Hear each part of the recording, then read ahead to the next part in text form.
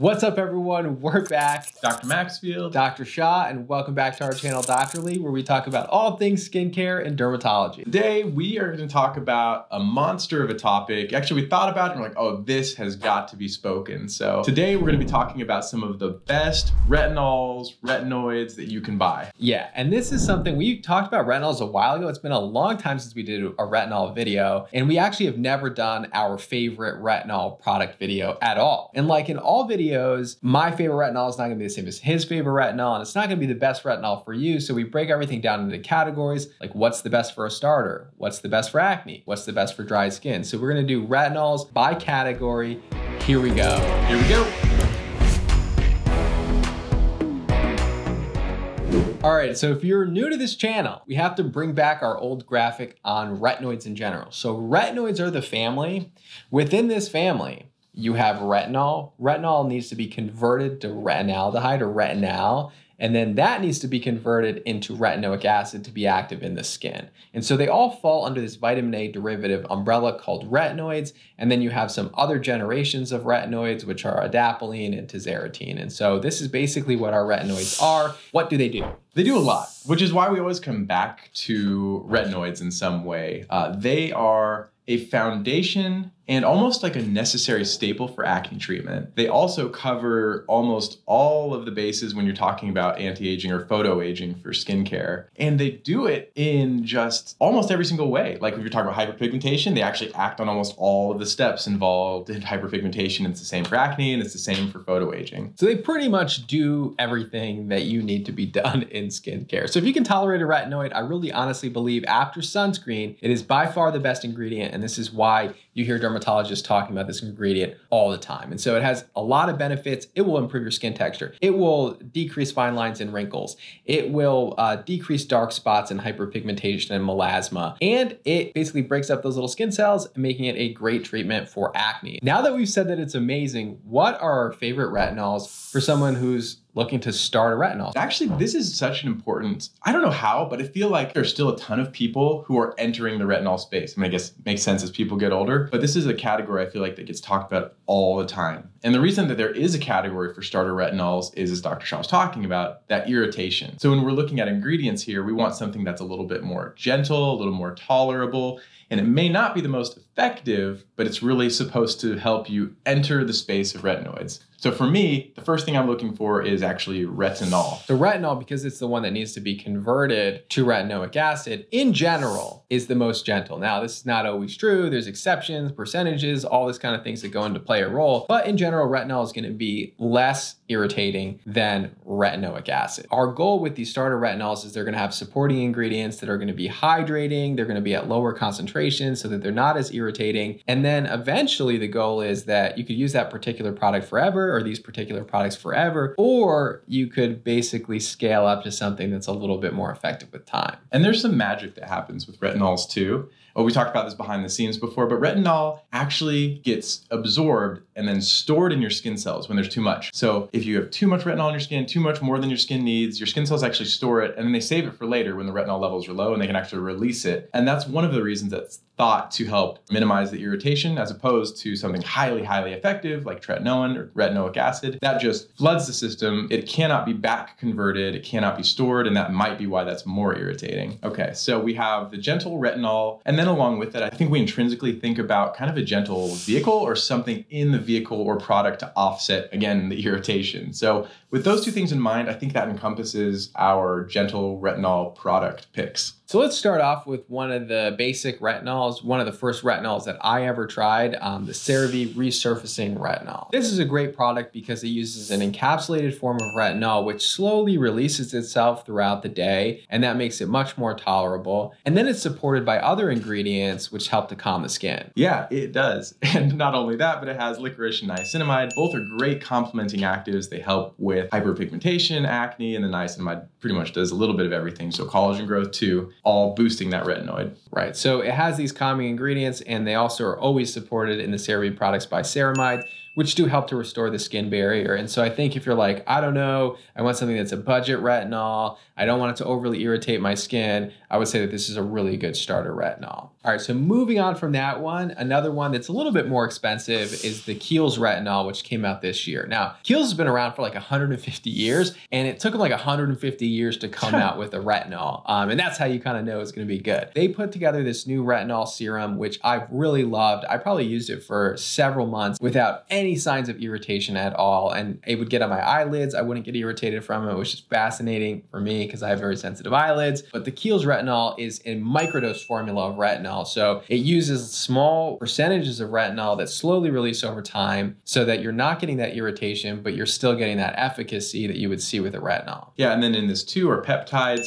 which I think peptides are a really great complementing ingredient, especially when it comes to retinoids, because they're very well tolerated, but then they also have some of the similar benefits in reversing that photoaging. And similar to the CeraVe one, it also has ceramides in it, which is going to help to restore the skin barrier, moisturize, and basically protect your skin while you're still having those benefits of retinol. And so this is one that I think I started using this year really loved it. And then for people that are looking to get into retinols that are familiar with Kiehl's, Kiehl's kind of has like a cult like following. So if you like products from Kiehl's, you tend to like other products from Kiehl's. So this is one of my favorite ones. And um, I think the CeraVe one is a great option for a starter too. So those products have the gentle retinol, the complementing ingredients, the soothing properties. Then along with this like idea of minimizing irritation, you have dry skin. And so dry skin kind of coincides sometimes with sensitive skin. So let's talk now about the best retinols or retinoids for dry skin.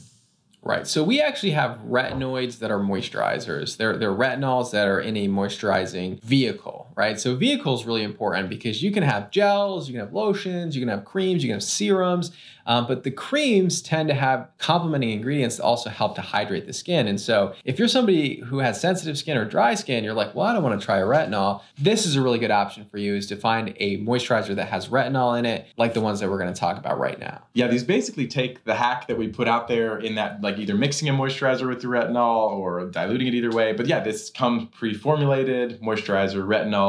Uh, one of the ones we'll talk about, Olay Regenerist. I swear, if you Google retinol, this one is one of the first ones to show up every time time. It's in that like very pretty, beautiful purple packaging. It catches your eye. But the nice things about this one, it has peptides, which I already talked about, a great complementing ingredient. It has a nice moisturizing vehicle, and then it also has niacinamide. So a similar soothing profile with uh, with a nice soothing moisturizing base. Right, and this is a product that really has withstood the test of time. I mean, so many people use this. It's very effective, very moisturizing. I think Olay is a brand that probably doesn't get enough hype on social media especially with younger generations, but it has been a staple for a lot of people their entire lives. And so this is really a great product. They do come in a fragranced one and a fragrance free option. Go with the fragrance free one. I mean, I think that it has the same effective ingredients that the fragrance one does with the reduced risk of irritation and allergy. And so, in my opinion, if you could choose between the two, I always go fragrance free. And I'll kind of say that over and over again. Now, if you have a product that has fragrance in it and there's no other alternative, I still think fragrance would be okay under those scenarios. Yeah, that's kind of like back to our great fragrance debate. But I think realistically, like there are things that you know at this point that can be irritating. And if it doesn't irritate you, it doesn't irritate you. So enjoy.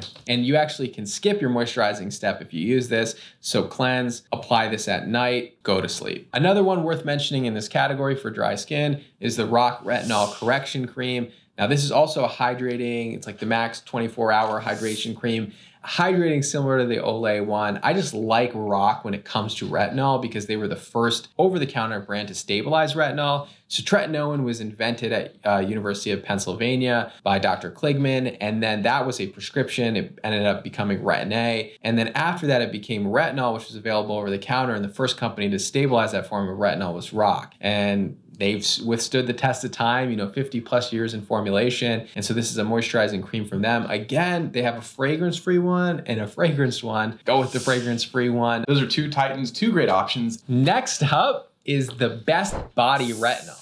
So if you're using retinol on your face, you're gonna see those same benefits by using it on the body. So crepey skin, texture, uh, hyperpigmentation, discoloration is going to have all those benefits and even will have benefits for keratosis pilaris. Yeah, it does. I mean, I think this is so neglected and we've actually gone a little bit out of our way to highlight these areas recently, but the decolletage and all of that just photodamaged skin that just I don't know, we just ignore it. We like focus in on our face. And later, I think we see in the clinic a lot of people kind of obsessing over areas that they didn't pay a lot of attention to growing up. So this this is an actually interesting category, I think, though, because we we both agreed and settled on on one item here. One product. Um, and the reason why is because I used to recommend, and I still recommend, I think it's a great product, has a lot of great ingredients in it, is the Paula's Choice Body Retinol. Now, the reason why I'm not including it in this category anymore um, is because the Verse Retinol just came out and it's six ounces, so it's bigger than the Paula's Choice option and it's less expensive. And so this is going to have similar effective ingredients to the Paula's Choice one, except it's a lower price and a bigger size. Yeah, I remember I was cruising the internet. I think when this first came out, I was just, you know, just early morning looking, pretending to shop. Oh, it came from an Instagram ad. That's what drew me there. And I was like, oh, this is really, really good. And then since then, I've just been loving it. There actually needs to be, I think, more body retinols available. Right. Um, people all the time have body acne as well. Like we talked about the anti aging part, but there's also body acne. So you could theoretically mix your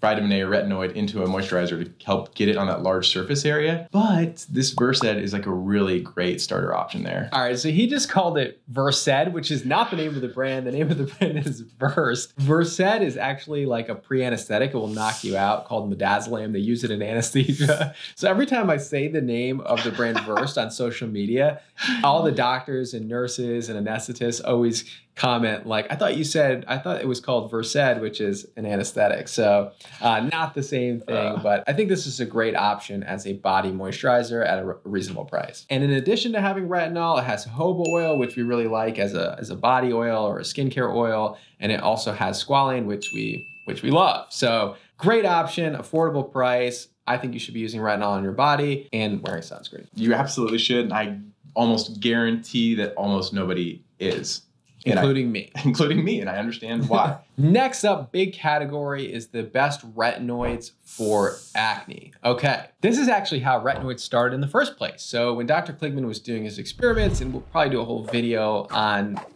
how ethical those experiments were, um, he was really trying to create an ingredient for acne. And as a result of those studies, they found out it was really helping with wrinkles. So a lot of the people that had done the initial studies didn't want to stop using their retinoid because they were seeing a lot of benefits with their skin pigmentation and with their wrinkles. And then eventually it started to get marketed as a wrinkle cream, but it all started with acne. So let's talk about acne. So why then is it great for acne? Right. So acne, we talk about this all the time. It's involved with oil production, which leads to occlusion of the pores, pores, which leads to overgrowth of bacteria, which causes inflammation. And so retinoids do decrease the oil production. They actually increase the skin cell turnover to help normalize keratinization and decrease the pore clogging. Uh, they don't decrease bacteria directly and this is like another fun little caveat. I just really wanted to put this little caveat in here. They, they do alter the pH and the actual environment, and they make it inhospitable for the bacteria. So they don't kill the bacteria, but they actually make it harder for this Propionibacterium acnes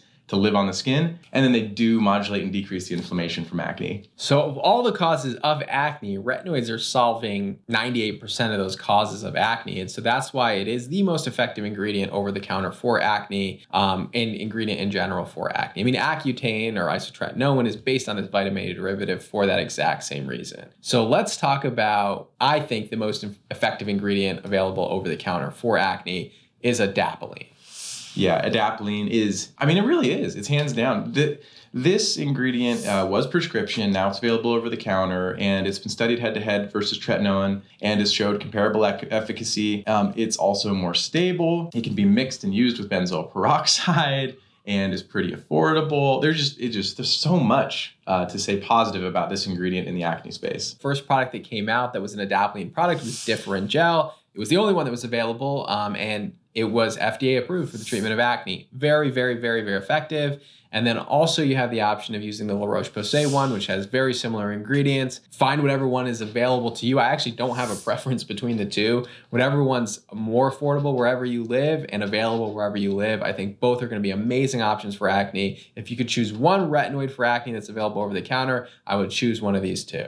And we would be remiss if we didn't recommend prescription medications for acne. I mean, first of all, we have much more effective ingredients and when you see a dermatologist. So it really is important to see a dermatologist for your acne, especially if you've tried a lot of these over the counter products and they're not working. So I think my two favorite retinoids that are available by prescription are tretinoin and uh, tazarotene almost no question about that, only because of the bulk of studies, especially that have been done on tretinoin in this space. Um, and we talk about, and there's some thought maybe like with anti aging, maybe retinols are as effective long term, especially for. Um, anti-aging as compared to tretinoin you know maybe maybe not but for acne just from my personal experience uh, i would venture that is absolutely not true when we have a person using a low strength retinoid even low strength tretinoin and they're like they've hit a wall or a ceiling they're like not quite getting to where they need to be I mean, time and time again, we increase that strength a little bit and they hit that mark. So I'm very, very committed to the idea that these prescription and stronger retinoids do have a higher ceiling, unfortunately, than some of the over the counter ones. Absolutely. And I think that tretinoin is a really good starter. And that's where I start most of my patients on that have acne. And I think, actually, I think tazarotene, in my opinion, is more effective in my experience with using it. So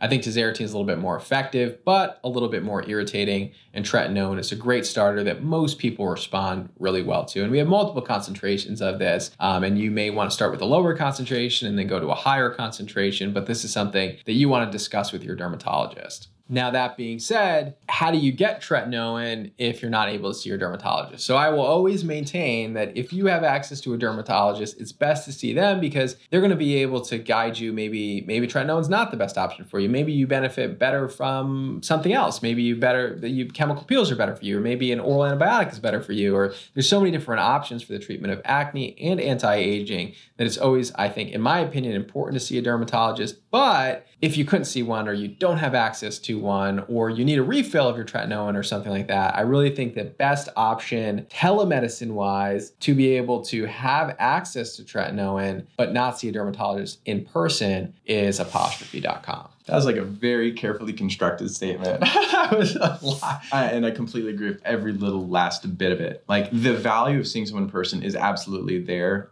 Uh, I think establishing the correct diagnosis and having something tangible in front of you is so under underappreciated these days. However, I am wholeheartedly behind apostrophe in this space. I think telemedicine, telederm is here to stay. Um, it is necessary for certain people, certain areas, and so that is who I would go to. Okay, so last category is the best overall retinols. You don't have anything specific that you're trying to treat other than anti-aging, pigmentation, just kind of just in general, what is the best retinols that you could use in your arsenal for whatever? Yeah, and so we actually were looking for a while and like, okay, how are we going to measure these? And we're actually kind of all over the place because some are expensive, some are inexpensive, some are like straight to the point, some are luxurious. So we decided Paula's Choice gets the first nod. Paula's Choice is a 1% retinol what makes this one, I think, so special is just the dearth of complementing ingredients in this. So, of course, it uses a solid concentration of retinol, 1%, but it also has a lot of good supporting ingredients your peptides, your THD ascorbate, which is a form of vitamin C. It has oat, which is calming and soothing. We really like that. Uh, it has willow bark, which is actually where salicylic acid came from in the first place. And so it has a lot of complementing and supporting ingredients that make it just overall a great retinol for somebody who doesn't have one of these specific issues we talked about earlier. Okay, I have a confession to make. I actually pitched it to him in that way because I knew he'd do a better job with the ingredients list. Like, just letting you to the back. He is so good at rattling off lists of things, and I stumble through it every time. So that's why I pitched it that way. well, I'll take the brunt of it then. Fair enough. All right, the next one, and we've mentioned it in our expensive skincare video in the past. This one is a little bit pricey. I don't know if you can buy this online. You may need to go to like uh, Medispa or a dermatologist's office to get this, um, but it's not a prescription. So this is the SkinBetter Science retinol. It's called AlphaRet. The reason why I like this one is they've done a lot of studies on it, so it has data behind it. But I also like that they use very interesting ingredients. They use glycolic acid in addition to retinol. They used a combined form of retinol and lactic acid, so it exfoliates and has that benefit of retinol in it, and it also has a ton of other ingredients. So this has soothing and active ingredients in it, like ceramide, squalane, licorice, and glycerin. Glycerin. so it also has glycerin. So just really overall, like hydrating, a lot of great supporting ingredients as antioxidants, exfoliants, and retinol. Now it can be a little bit irritating, but I think that you should ease into this one every other night, and it's going to be very effective. A little pricey, but I actually think the studies behind it make it worth it. Yeah, and I think when you look at the ingredient list though that is in this,